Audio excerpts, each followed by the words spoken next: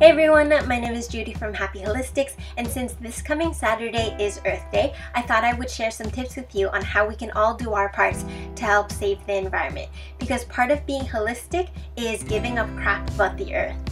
So today I'm going to be sharing with you some tips on how to conserve water because I'm kind of awesome at it. Keep track of your water usage. It'll shed a light on how much your family is actually using. I do this through My Water Toronto and most likely whoever you're paying your water bills to will have that usage information available to you.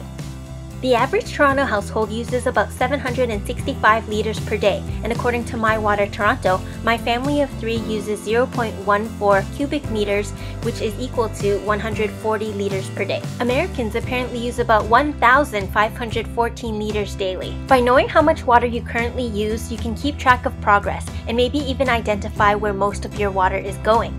So for example, I know I did laundry on April 15th, so I'm not surprised that usage was higher on that day.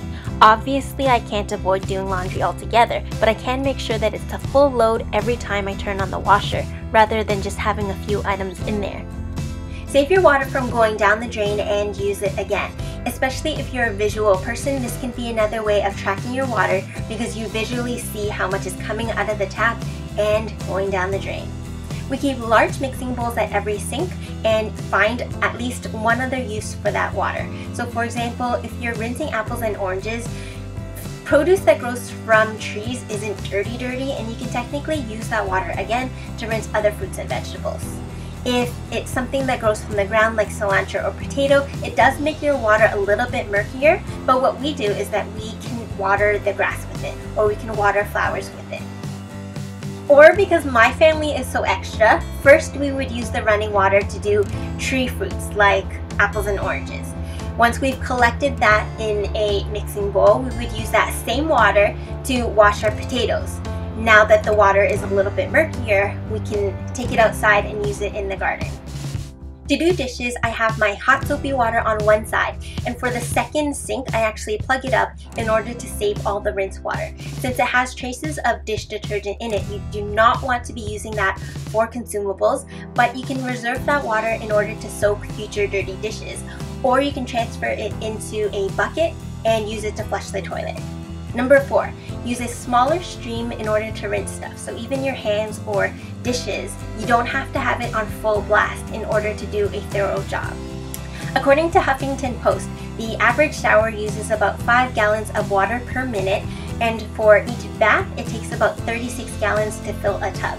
So keep every shower under 7 minutes and you're saving water already. Pair that up with using a smaller stream, turning off the water whenever you're lathering, shampooing, conditioning, and whatever the hell else you're doing in the shower, and you'd be saving so much water in no time. As you're waiting for the water to warm up, for your shower. Save everything that comes out in a bucket or a basin.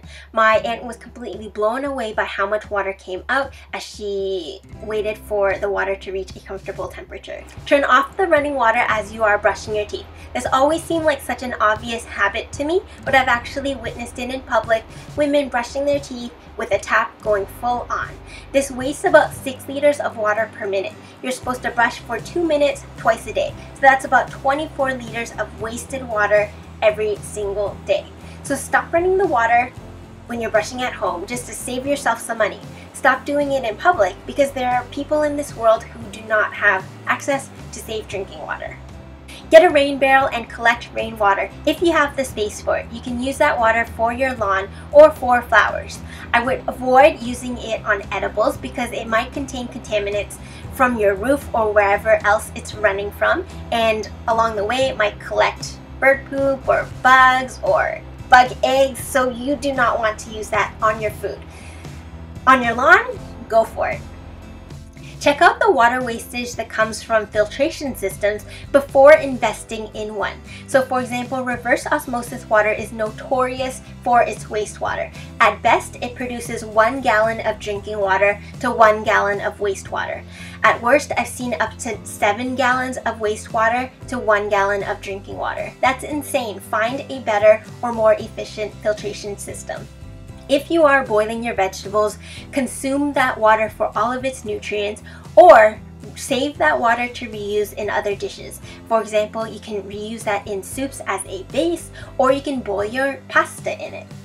Those are all the tips that I have for you today. If you found any one of them helpful, please remember to subscribe to my channel by hitting that red button down below and like this video. I'll see you next week.